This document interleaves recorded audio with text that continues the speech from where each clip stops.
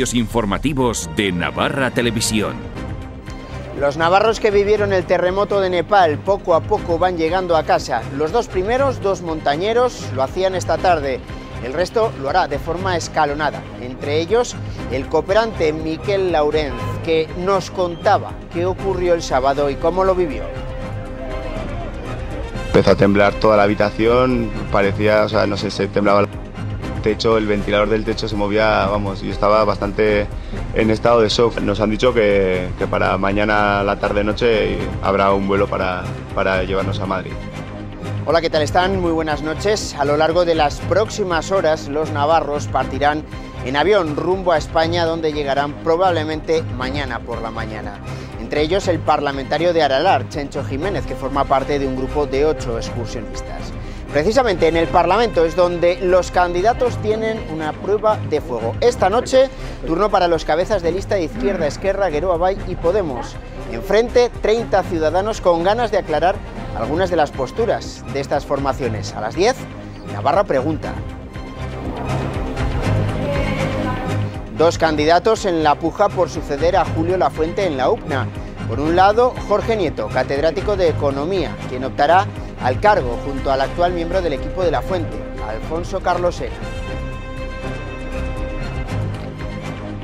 Llevo muchos años en la universidad y querría devolverle de alguna manera lo que me ha dado, proponiendo un, un futuro para la universidad que me parece muy bueno. Los sindicatos se movilizan hoy con motivo del Día Internacional de la Seguridad y Salud Laboral.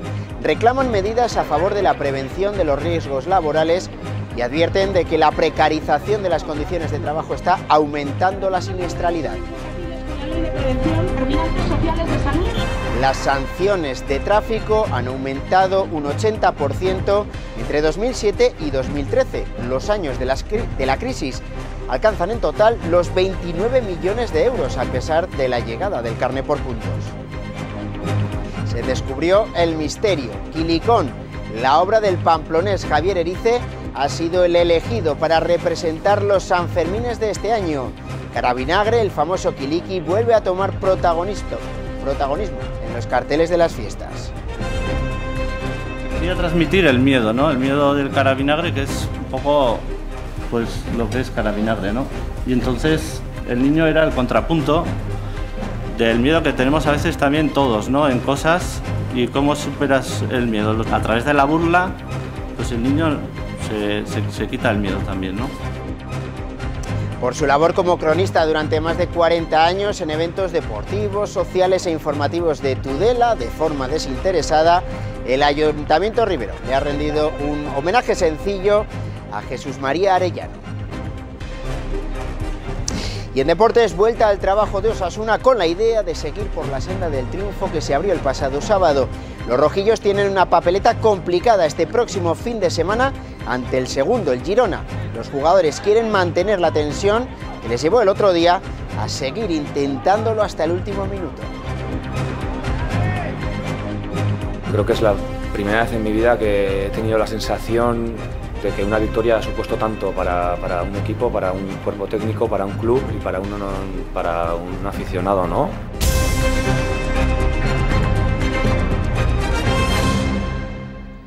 Prosiguen las labores de búsqueda en Nepal después del devastador terremoto de este fin de semana. Las cifras oficiales de muertos y heridos suben con el paso de las horas. Se dice que hay 5.000, aunque otros organismos apuntan a que se podría llegar a la cifra de los 10.000 muertos por esta tragedia. Mientras Nepal intenta salir adelante, la comunidad internacional envía equipos de rescate y a especialistas en grandes emergencias para ayudar a la población local. Bomberos, médicos, miembros de Cruz Roja, de Protección Civil acuden en masa hasta Katmandú y los lugares afectados por el terremoto. En el contingente español se encuentran navarros como el médico Alberto Lafuente. Toda la población tiene problemas, pero estos se hacen especialmente graves para niños que ya están enfermos.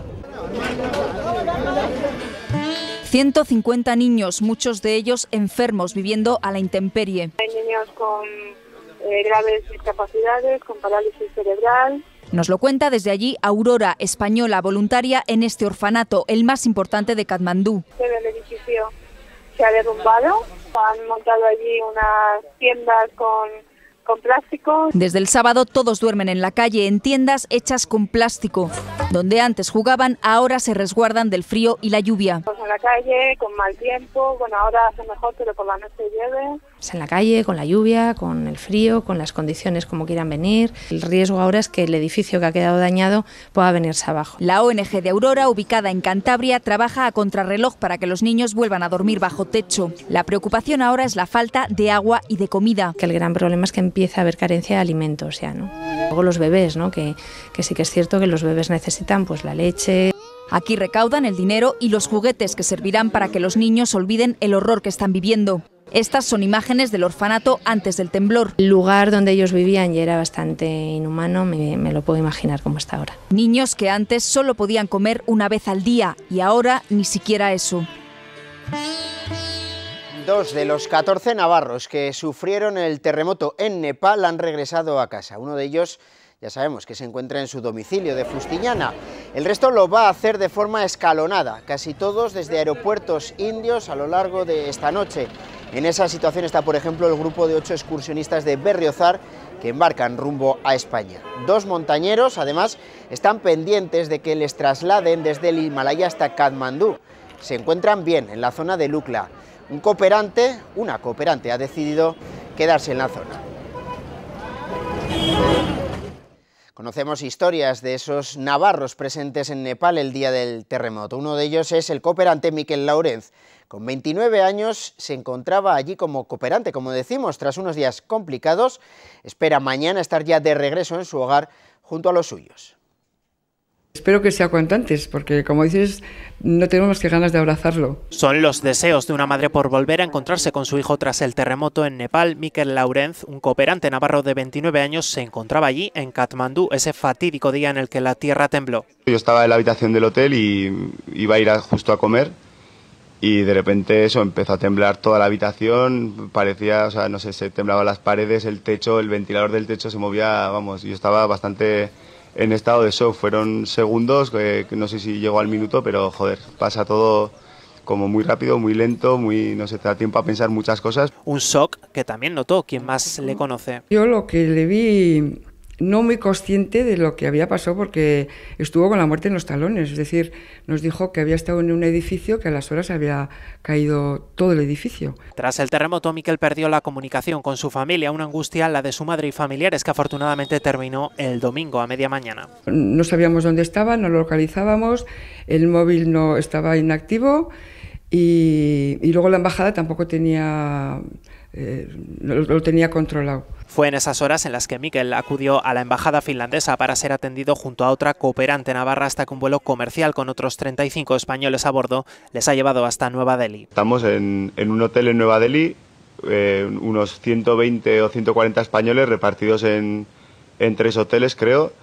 Y nada, nos han dicho que, que para mañana la tarde-noche habrá un vuelo para, para llevarnos a Madrid. Ahora esperan que en las próximas horas un nuevo avión los devuelva a sus hogares y poder olvidar o al menos sentirse más arropados gracias al calor familiar. Y cientos de personas recordaron anoche otra tragedia, en este caso despidieron en Barcelona a las 150 víctimas del accidente aéreo de Germanwings, un funeral que presidieron los reyes. 150 velas, una por cada víctima. Las llevan hasta la escalinata del altar los alumnos del Colegio de Ginars del Vallés, donde un grupo de adolescentes alemanes estuvieron de intercambio antes de subirse al fatídico vuelo. Nuestros hermanos que murieron en aquel vuelo aéreo que terminó en los Alpes franceses. Ha sido una ceremonia en seis idiomas, con los embajadores de los distintos países de los fallecidos, un funeral católico en el que han dejado intervenir a las distintas confesiones religiosas. Somos de Alá, Dios. Nuestro futuro. Los reyes presidiendo, las principales autoridades del país en primera fila. No han faltado quienes participaron en el rescate. Todo estaba pensado para ellos, los familiares de las víctimas, 900 personas a las que don Felipe y doña Leticia han dado el pésame una a una, en ocasiones consolando su llanto, en otras arrancándoles una sonrisa, dándoles ánimos. Detrás, Rajoy y Artur Mas, unidos esta vez para calmar el dolor. Y hoy ha sido el Día Internacional de la Seguridad y Salud Laboral. Varios sindicatos se han concentrado en diferentes puntos de Pamplona, lo han hecho tanto comisiones obreras como UGT o la CGT para reclamar medidas a favor de la prevención de los riesgos laborales y advertir de que la precarización de las condiciones de trabajo está aumentando la siniestralidad. El pasado año fallecieron por accidentes laborales un total de 12 personas y este año ya van 5. La independencia de los profesionales sanitarios que la llevan a cabo. La precarización de las condiciones de trabajo está eh, eh, ligada a lo que es un incremento de la siniestralidad. ¿no? Reivindicamos este día con unas medidas, 10 medidas, un decálogo, y sobre todo haciendo hincapié en lo que venimos diciendo también pues, con toda esta campaña de este día, donde hay UGT, donde hay sindicato, lo que denominamos efecto sindicato, hay salud laboral. Navarra se encuentra entre las cinco comunidades con superávit presupuestario en febrero de 2015, según los datos del Ministerio de Hacienda. Solo cinco comunidades tenían superávit, como decimos, en estos dos primeros meses, aunque la mayor parte de todas ellas mejoran los resultados del año anterior. El mejor comportamiento de las comunidades autónomas se debe al incremento de los recursos no financieros que ha aportado el Gobierno central con un crecimiento que supera el 5%, en tanto que las transferencias a las entidades locales crece por encima del 6%. Las sanciones de tráfico aumentaron un 80% entre 2007 y 2013, que son los años de la crisis. Alcanzan en total los 29 millones de euros de recaudación, a pesar de la llegada del carné por puntos. El dato enciende los ánimos. Con la crisis en España se han doblado las multas de la DGT. Desde 2006 hasta 2013 fueron 29 millones de sanciones, un 80% más que antes. Están deseando poner multa porque necesitan dinero. Yo creo que es la mejor manera de sacar dinero. Sinceramente no entiendo cómo nos cosen a multas. La causa principal de este aumento de multas es el carné por puntos. Control de alcoholemia, control de drogas. Sorprende también que más multas son los ayuntamientos, seis veces más que la DGT, y la mayoría de multas son por velocidad. El segundo puesto, el mal aparcamiento. El otro día me pusieron a mí una multa de la zona azul. Aquí mismo tengo la multa de, de 45 euros. Aparqué en un sitio que no debía. Me multaron y nunca más. Pero algo bueno ha tenido tanta multa. Reducción drástica de fallecidos, un 65% menos. Porque tiene un efecto directo en la concienciación, aunque sea, digamos, de un modo desagradable. Nueve de cada diez conductores creen que las multas tienen afán recaudatorio, no educativo. El primer criterio no es la seguridad, sino es la recaudación. Creo que si atacas el bolsillo, aprendes. ¿Y has aprendido de ello? Sí, poquito, pero sí. y ha comenzado la carrera por hacerse con el puesto de rector de la Universidad Pública de Navarra.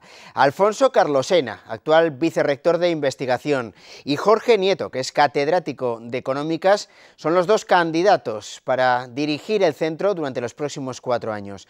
Más de 10.000 personas del centro están llamadas a votar en las elecciones que se celebrarán el próximo 13 de mayo. Son dos los candidatos proclamados de forma provisional para dirigir la Universidad Pública de Navarra durante los próximos cuatro años, los catedráticos Alfonso Carlosena y Jorge Nieto. Las elecciones en las que el centro académico elegirá a su nuevo rector serán el 13 de mayo. Jorge Nieto, catedrático de Económicas, profesor en la universidad desde 1991 y autor de numerosas publicaciones en revistas de ámbito internacional, tiene claro el motivo por el que se presenta como candidato para llegar a ser el nuevo rector de la UPNA. Por varias razones. Una de las cuales es que tengo algo que decir.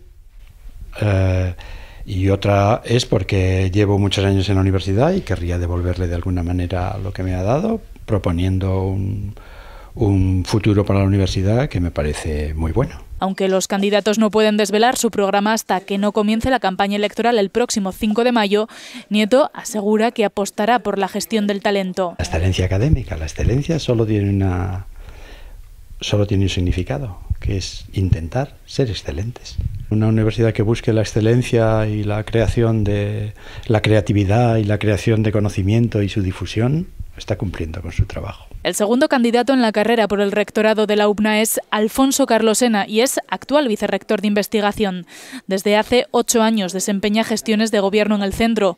Carlosena ha declinado hacer declaraciones sobre su candidatura. Más de 10.000 personas, entre profesores, alumnos y personal no docente, están llamados a votar el próximo 13 de mayo. Será un día más tarde cuando se realice la proclamación provisional de resultados y, en su caso, del candidato electo. Precisamente esta mañana la Universidad Pública de Navarra presentaba una campaña para recaudar fondos económicos a través del plan de mecenazgo. El proyecto está dirigido a diferentes colectivos y a empresas con las que mantiene convenios de colaboración.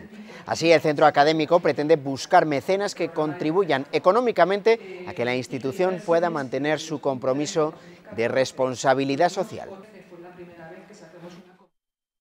tres campos que nos parecía que eran particularmente sensibles. Uno es el de la cultura, otro es el de la accesibilidad dentro de la universidad y el otro es un componente de tipo social de ayudas a estudiantes y a personas que tienen particulares necesidades para poder estudiar fundamentalmente.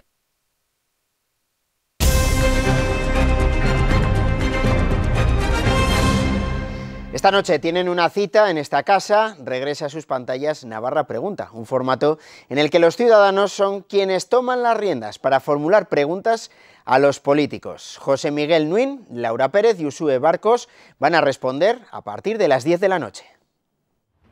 Todo listo para el regreso por tercera vez de un formato que busca desdibujar la frontera entre políticos y ciudadanos. Esta casa une a navarros con sed de respuestas y políticos dispuestos a resolver dudas. Esto es Navarra Pregunta. Me parece una cosa muy, muy interesante, ¿no? Nos da pie a incorporar algo más a esta precampaña, a esta campaña electoral. Me parece muy necesario. Y en el programa de este martes, tres nombres propios. A José Miguel Nuin. A Laura Pérez. A Uso Marcos. Y muchos temas por tratar. El tema es sobre las agresiones sexistas. Pues a ver qué aportan ellos, a ver si no se convierten ellos casta. Preguntarles sobre el tema de autónomos y las tarifas planas, el tema de contrataciones. La pregunta va sobre el paro y creo que con eso lo he dicho todo. En un lado ellos y en otro los candidatos que se someterán a 10 preguntas que buscan respuestas transparentes y concisas por parte de los ciudadanos. Que sean sinceros, sobre todo, y que no sean electoralistas. Que sean sinceros Sí, previo a las elecciones y también posteriormente, por supuesto. Me parece muy importante que lo que se diga aquí luego lo cumplan los políticos. Estamos muy acostumbrados a, a, que nos digan cosas muy bonitas, que nos suenan muy bien a los oídos y que luego en la práctica hagan todo lo contrario. Unas peticiones que seguramente cumplan nuestros políticos para que los ciudadanos no solo se lleven un bonito recuerdo, sino que tenga más claro a quién depositar su voto el próximo 24 de mayo. El candidato de UPN a la presidencia de Navarra, Javier Esparza, asegura que el nuevo gobierno foral que se conforme tras, esas, tras las elecciones se va a decidir por un puñado de votos. Por eso Esparza destaca la importancia de que los ciudadanos acudan a las urnas. Les pide que no se dejen engañar por los discursos de Bildu, Podemos o Geroa Bay ya que, según el candidato de UPN, el objetivo prioritario de estas tres formaciones es disolver Navarra en Euskadi. y este caso... EH Bildu incluye en su programa para las elecciones la reivindicación de una gestión pública de la salud laboral y actualmente está en manos de las mutuas patronales, dicen. Coincidiendo con la celebración del Día Internacional de la Salud Laboral, la formación ha presentado sus compromisos en esta materia, asegurando que es necesario desarrollar un sistema sanitario público potente que proteja la salud de todos los trabajadores. De movimientos de fichas y de declaración. Por su parte, Izquierda Esquerra propone modificar la ley del derecho a la vivienda para que toda persona tenga ese derecho garantizado a una vivienda en alquiler y que no supere el 25% de la renta familiar ponderada. La coalición se propone así garantizar por ley que toda persona que no tenga una vivienda en alquiler o en propiedad tenga ese derecho a la vivienda de modo que sea exigible ante los tribunales y que el gobierno foral tenga que buscar la fórmula para garantizar ese derecho. Yeroabay impulsará y recuperará la práctica del deporte base como eje básico para la mejora de la calidad de vida. Su candidata Usue Barcos ha anunciado que si es la próxima presidenta ubicará el Instituto Navarro de Deporte y de Juventud en el Departamento de Presidencia. Se compromete también a reformar la actual ley de subvenciones para dar estabilidad a las federaciones deportivas. Respecto a infraestructuras como el Navarra Arena, Barcos ha dicho que hay que empezar a pensar en posibles soluciones desde cero. Sería una insensatez por nuestra parte pretender decir que tenemos en estos momentos la solución al Navarra Arena. Creo que no la tiene en estos momentos nadie. Tenemos que ponernos a pensar de cero. No existe una propuesta para el Navarra Arena, pero es que no existía ni en su, ni en su conformación, ni en, ni en el momento en que se pergeñó. No vamos a hacer la actividad deportiva competir con las necesidades perentorias y básicas de los asuntos sociales. Y eso me parece que ya es un arranque o un punto de partida importante. La Junta Electoral Provincial ha proclamado de forma oficial las 14 candidaturas que se presentan a las elecciones forales del 24 de mayo. Respecto a 2011, son, se presentan por primera vez las coaliciones EH Bildu y Guero Abay, constituidas tras la ruptura de Nafarro Abay. Además, también son nuevos Podemos y Ciudadanos. Las 14 candidaturas suponen un récord desde 1983. El presidente del Gobierno, Mariano Rajoy, ha comparecido esta tarde en el Senado. Allí, la portavoz del Grupo Socialista, María Chivite, le ha enfrentado a los datos de valoración de su Gobierno que le sitúan como el peor valorado. Rajoy ha respondido eh, repasando los logros económicos de su Gobierno, que en su opinión ha corregido la mayoría de los desequilibrios macroeconómicos que evitaban el crecimiento del país y ha esgrimido que el Gobierno socialista dejó a España en la ruina. ¿Está usted en condiciones de seguir afirmando que su gobierno es el gobierno de los mejores? Creo que es mucho mejor que el gobierno al que sustituimos en el año 2011. No aplaudan ustedes porque tengo que decir que con ser cierto que es mucho mejor, tampoco es un mérito del que podamos presumir demasiado. Su gobierno, señor Rajoy, es un motivo de vergüenza para la sociedad española. España estaba al borde del rescate. Hoy ya nadie habla del rescate en España. Queda mucho por hacer, pero lo que nos dejó esa bancada fue lisa y llanamente ruina. El cartel con el nombre Quilicón del pamplonés Javier Erice será el cartel que anuncie los próximos Sanfermines de 2015. Se ha hecho con el premio con el 30% de los votos de los pamploneses. Hemos conocido el cartel ganador y también a su autor, que ha hecho los honores en la presentación. Javier Erice nos propone con este cartel superar nuestros miedos irracionales con el sentido del humor. Sí que quería transmitir el miedo, ¿no? El miedo del carabinagre, que es un poco pues lo que es carabinagre, ¿no? Y entonces el niño era el contrapunto del miedo que tenemos a veces también todos, ¿no? En cosas y cómo superas el miedo. A través de la burla, pues el niño se, se, se quita el miedo también, ¿no?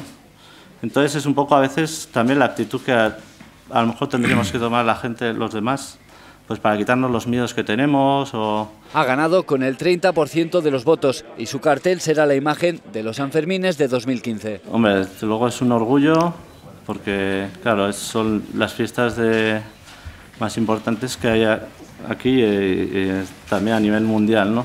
Entonces, eso es un orgullo y por eso te presentas siempre, ¿no? Aunque a veces sabes que tienes pocas posibilidades, pero es eso, al final es un orgullo y una satisfacción enorme, claro. Ha sido esta, además, la edición más participativa desde 2009, con más de 5.000 votos. El año pasado fueron 3.474, este año ha habido una subida muy importante hasta los 5.124 y además han sido 12 días en lugar de 19. Entonces, si tomamos el dato del número de votantes promedio diario, la verdad es que ha sido muy elevado. Nos ponen las cifras más altas desde el año 2009. Será la cuarta vez que Carabinagre protagonice las fiestas de la mano de Javier, que hoy, sin embargo, ha acaparado él todos los focos.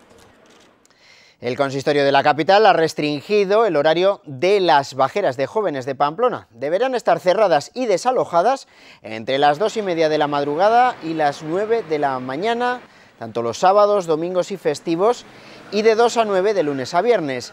El ayuntamiento ha aprobado una ordenanza municipal que regula locales de ocio privado. Así se pretende garantizar que estas bajeras funcionen adecuadamente evitando molestias y riesgos para usuarios y para el vecindario.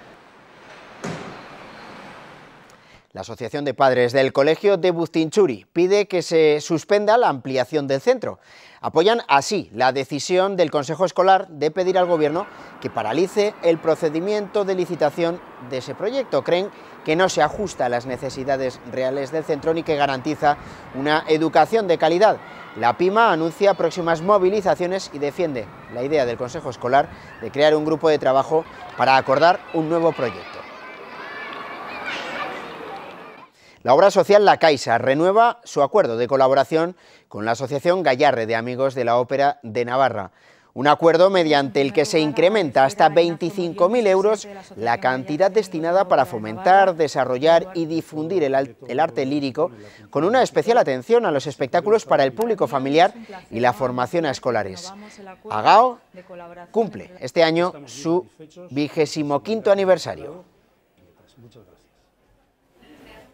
Tenemos este año una programación muy completa mmm, que presentamos por nuestro 25 aniversario, que incluye ópera escenificada con los títulos El Elixir de Amor, Don Pascual y Rigoletto, que se presentarán además eh, pues en, tres, cuatro escenarios distintos, como son el Teatro Gallarre, Baluarte, la Casa de Cultura de Burlada y el Teatro Gaztambide de Tudela, intentando llegar pues, a toda la comunidad. Por su labor como cronista durante más de 40 años en todo tipo de eventos informativos de Tudela, por hacerlo de forma desinteresada. Por eso el Ayuntamiento Rivero ha rendido esta mañana un pequeño homenaje a Jesús María Arellano. Ya fue reconocido en el 96 como Tudelano Popular.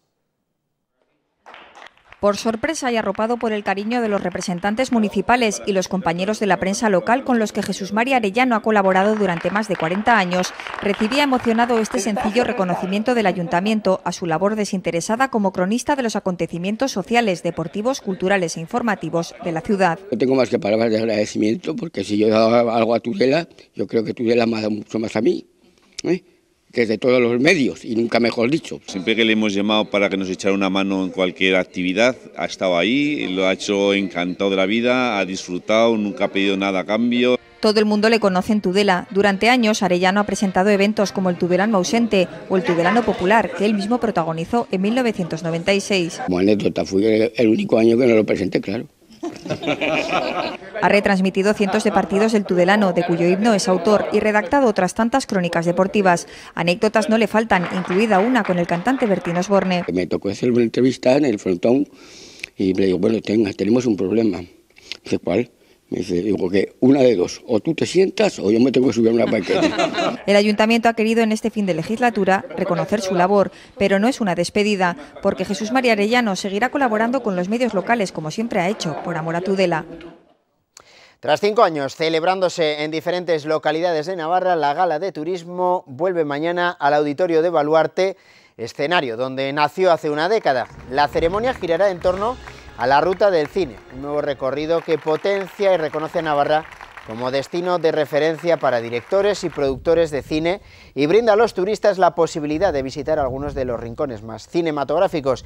Además, se van a entregar los premios de turismo Reino de Navarra 2015, una gala que van a poder ver aquí en Navarra Televisión. Uno de los premiados hace ya un tiempo fue el Hotel Ayestarán, hoy ha sufrido un incendio. Ha dañado vigas del tejado y parte de la cubierta, eso sí, sin provocar ningún herido. El propietario del establecimiento ha contenido el fuego haciendo uso de una manguera hasta que han llegado los bomberos del Parque de Pamplona. Creímos en ti cuando montaste tu propia empresa. Creímos en los frutos de tu negocio. Creímos en ti cuando apostaste por tu profesión. En Caja Rural de Navarra seguimos dando crédito a particulares, autónomos, empresas, emprendedores e instituciones, porque nunca hemos dejado de creer en ti. Caja Rural de Navarra.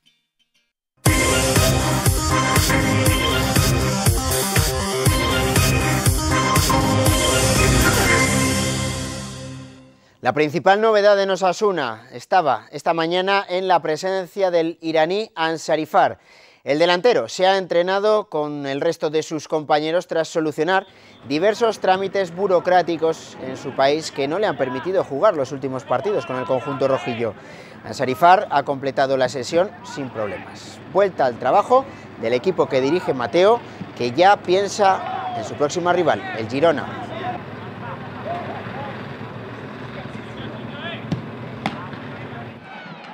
Aliviados. Así están los jugadores tras la victoria del pasado sábado ante el Albacete. Creo que es la primera vez en mi vida que he tenido la sensación de que una victoria ha supuesto tanto para, para un equipo, para un cuerpo técnico, para un club y para, uno, para un aficionado, ¿no?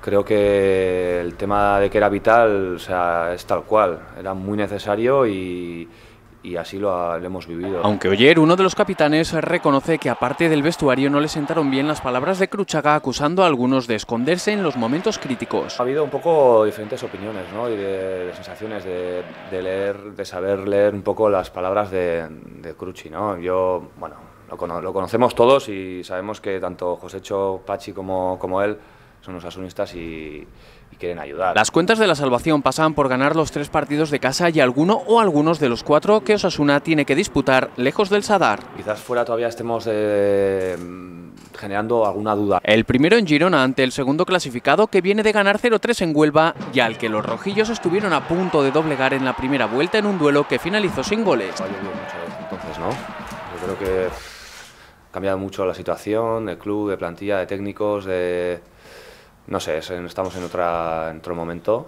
y tanto emocional como de forma. Para ese partido, Mateo podrá contar con Miguel Flaño, quien podría recibir mañana el alta médica después de entrenarse hoy sin problemas junto con el resto del grupo. Por cierto que la Liga de Fútbol Profesional ha enviado al Comité de Competición un informe denunciando insultos procedentes de Graderío Sur a Portu, el jugador del Albacete, que se dirigió a esa zona de manera desafiante después de marcar el otro día el empate a uno. Este sábado hablamos ya de volei. El GHL Dernet está obligado a ganar para prolongar la serie final de la Superliga de volei. Esta tarde anunciaba que ese partido se va a jugar en el Polideportivo de la UPNA y no en el habitual de la Universidad de Navarra. Las entradas van a costar 6 euros, serán gratis para los menores de edad. Las chicas del volei parten con la desventaja del 2 a 0 que traen de los dos primeros partidos disputados en tierras riojanas. El Ciudad de Logroño está a solo una victoria de revalidar el título liguero. Vemos que va a ser un partido complicado, difícil, pero estamos convencidos que, que depende de nosotros, que depende de nosotros y depende de, de, nuestro trabajo, de nuestra concentración y tenemos que creer que es posible alargar esta eliminatoria. ¿no? Ellas cuando nos vieron allí como, como empezamos, y nos lo dijeron al terminar el segundo, el segundo partido que, que quedaba mucho que quedaba mucho playoff todavía. Como no habían visto, quedaba mucho playoff todavía. Albisu y Rezusta suben este viernes en Zumárraga el telón del manomalista de pelota que esta mañana se presentaba en Bilbao. La primera jornada pasa de largo por Pamplona. El frontón Labrit no va a coger ninguno de los cuatro partidos que se han programado en esta primera ronda y será en los cuartos como pronto cuando se dispute un partido en la capital navarra en el estreno de Olaizola II. El de Goizueta comenzará en el tercer escalón junto con Irujo que defiende Chapela, Retegui finalista del año pasado y Urrutico Echea. Y se ha disputado la segunda etapa de la Titan Desert. Es la prueba de mountain bike considerada más dura del mundo.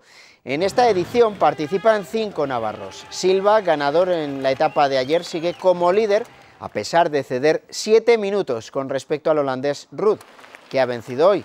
En féminas, segunda victoria consecutiva de la catalana Ana Ramírez.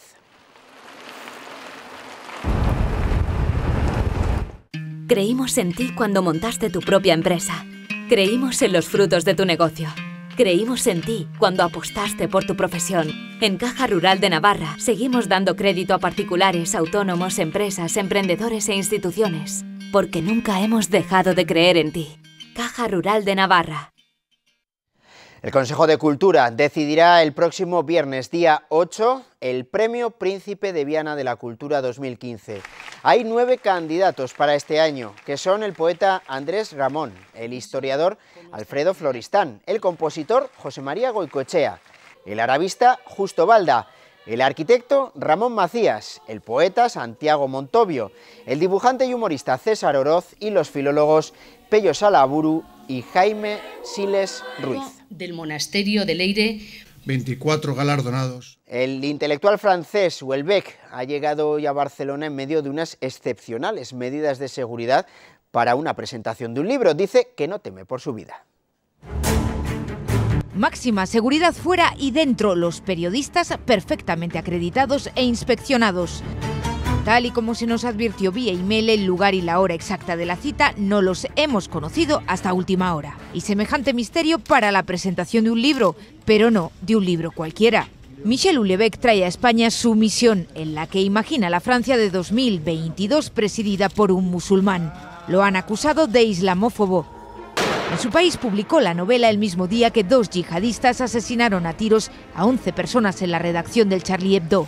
El escritor vestido de profeta precisamente era el protagonista de la última portada del semanario satírico. Houellebecq tuvo que parar la promoción y huir de París. Yo no tengo miedo, pero quizá me equivoco. Estoy bien, los policías que me custodian son muy simpáticos. Houellebecq ahora escoltado y siempre envuelto en una cortina de humo y de polémica.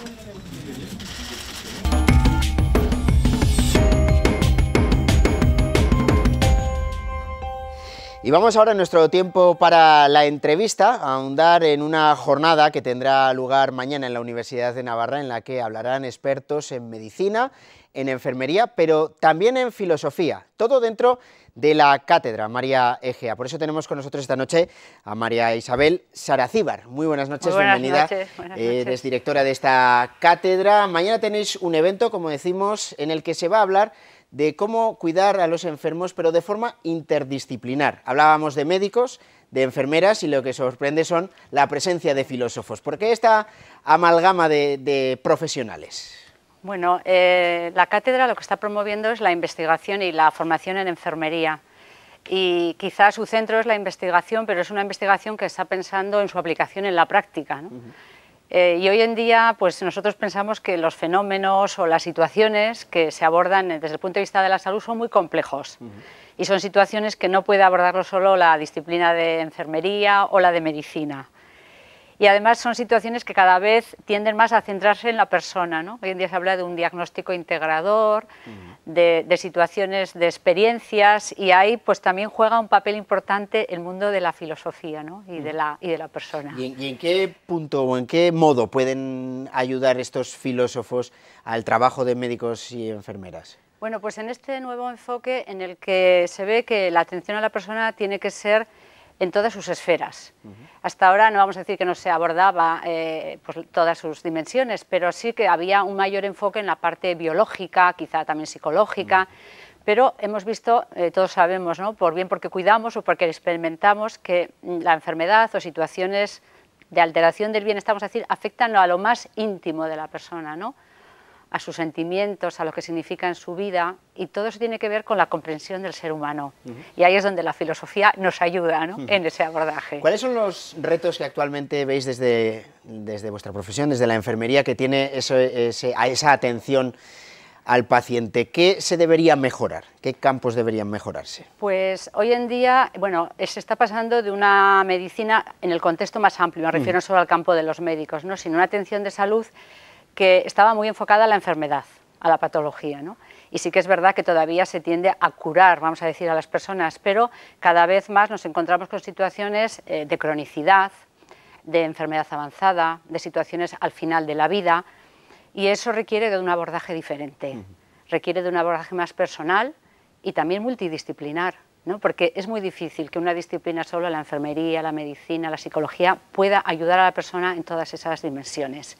Y ese es un reto que el sistema de salud tiene que abordar y en el que nosotros consideramos que la enfermería, trabajando en equipo con otros, tiene un papel central importante.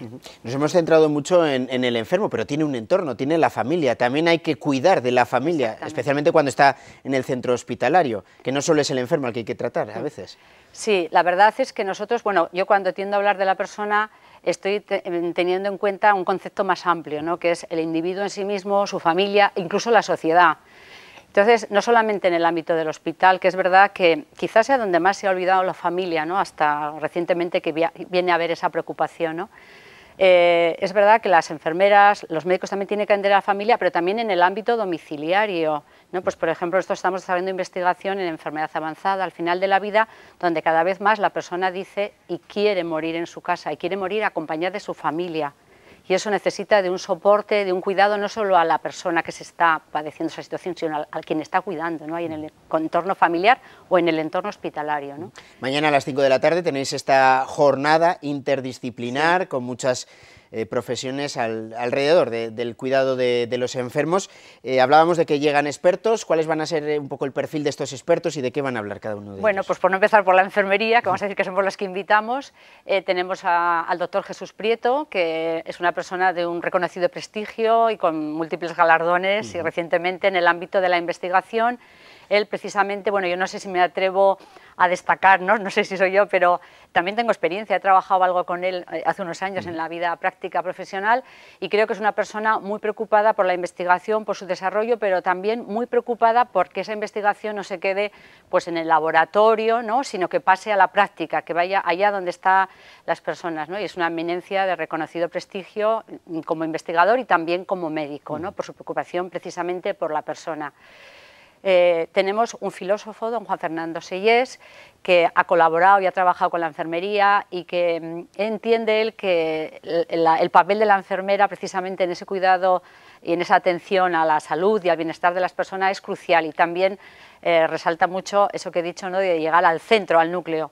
es una persona que ha trabajado mucho también en el ámbito de la antropología. y que, va, a dar una, yo pienso, él dice que va a ser un revulsivo en esta mesa y luego está eh, la doctora profesora Mari Carmen Portillo, que es profesora de nuestra Facultad de Enfermería y que tiene una amplia experiencia investigadora tanto en el ámbito nacional como internacional en abordajes, sobre todo en la cronicidad y desde una perspectiva multidisciplinar. Entonces, cada uno de ellos van a dar la visión ¿no? para este cuidado pues, unitario e integral. Eh, toda esta jornada organizada, como decíamos antes, por la Cátedra María Egea, eh, la cátedra que puede ser un término muy universitario, muy de universidad. ¿Qué es exactamente una, una cátedra que es la que organiza Sí, bueno, esta pues esta cátedra en realidad nació en el año 2007, impulsada por la familia Egea con un gran soporte económico que valoró la importancia, primero porque una de sus hijas, eh, siendo enfermera, murió muy joven y valoró mucho la importancia de la atención de enfermería y además de esto, de esta coyuntura, fue el compromiso que tiene, mm, fue la forma de dar cauce a un compromiso de la Facultad de Enfermería con respecto a la formación y al desarrollo de la investigación de las enfermeras. La cátedra en realidad lo que se preocupa es de promover la formación de posgrado, másteres y doctorado y desarrollar investigación. Una investigación que, insisto mucho, porque es la preocupación, redunde en la sociedad, en el cuidado. ¿no? Entonces, para eso, pues da desde becas a estudiantes, tenemos estudiantes que están eh, matriculados gracias a la ayuda de la cátedra, eh, salen al extranjero a realizar también programas de investigación en ámbitos donde la investigación en enfermería está muy desarrollada promueve la propia investigación, la, subvenciona en áreas prioritarias que ha considerado la Facultad de Enfermería y que responden a necesidades sociales. ¿Y esta cátedra a cuántas, eh, a cuántas estudiantes de enfermería beneficia? bueno, de enfermería que ya, que ya se han licenciado y han conseguido su, título, porque decías que era bueno, pues más de posgrado. ¿A cuántas beneficia? ¿En qué sentido les, les, ayuda o les orienta? Pues mm, bueno, pues por concretar, por ejemplo, la cátedra habitualmente, cada curso académico eh, suele ayudar en tres o cuatro matrículas para, mm, el programa de máster en práctica avanzada de investigación en enfermería.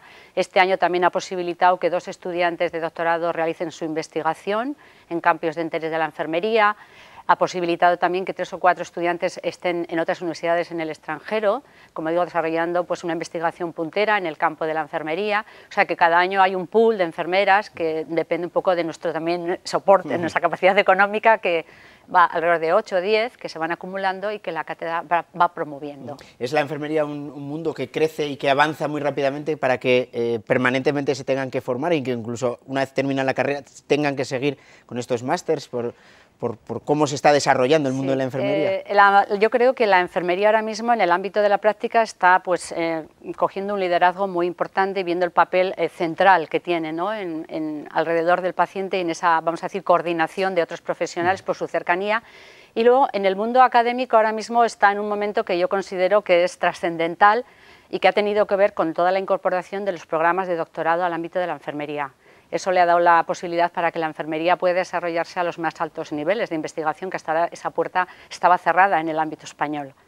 Entonces, en, el mundo internacional, si algo ha redundado en el, vamos a decir, en el empuje de la enfermería, tanto académica como profesional, ha sido el programa de doctorado en enfermería que nosotros también ahora estamos desarrollando.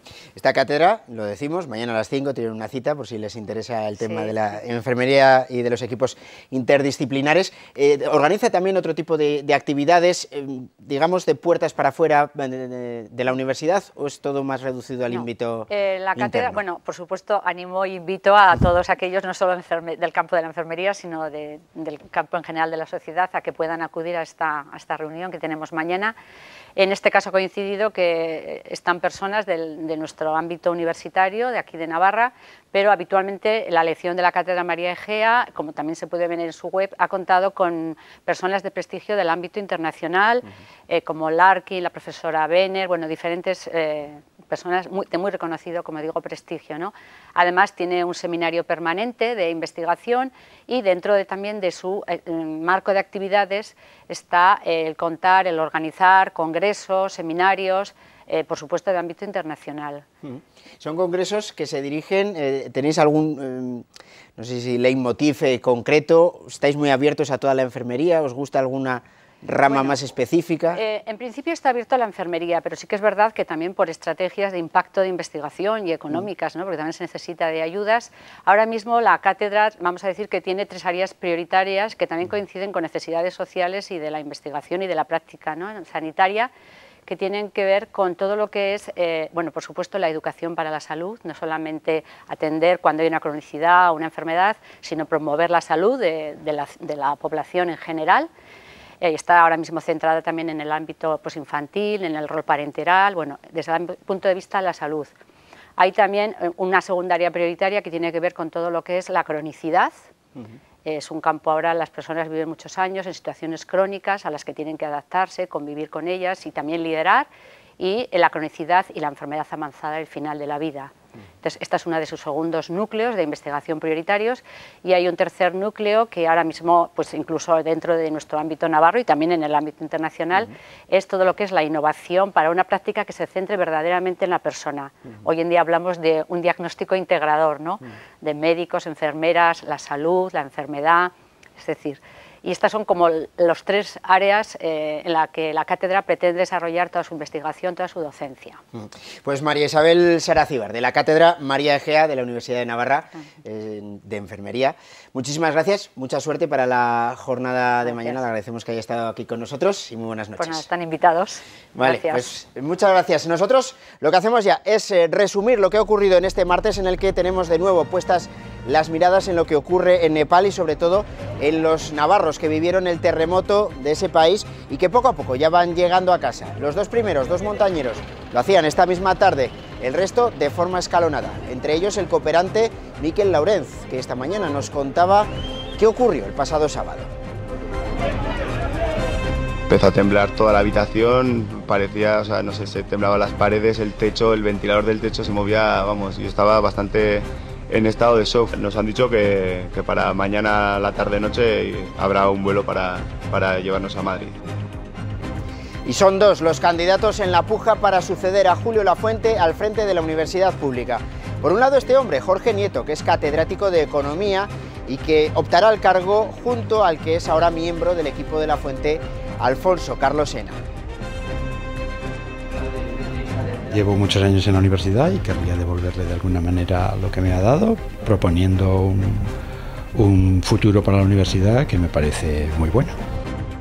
Los sindicatos se han movilizado hoy porque es el Día Internacional de la Seguridad y la Salud Laboral. Reclaman medidas a favor de la prevención de los riesgos laborales y advierten de que la precarización de las condiciones de trabajo están aumentando la siniestralidad. Las reformas laborales son incompatibles con la ley de prevención. Las sanciones de tráfico han aumentado, lo han hecho un 8% entre los años 2007 y 2013, los años de la crisis. Alcanzan en total los 29 millones de euros de recaudación a pesar de la llegada del carne por puntos. Se descubrió el misterio. Quilicón, la obra del pamplonés Javier Erice, es el elegido para representar los Sanfermines de este año. Caravinagre vuelve a tomar protagonismo en los carteles de las fiestas. Sí que quería transmitir el miedo, ¿no? El miedo del carabinagre, que es un poco, pues, lo que es carabinagre, ¿no?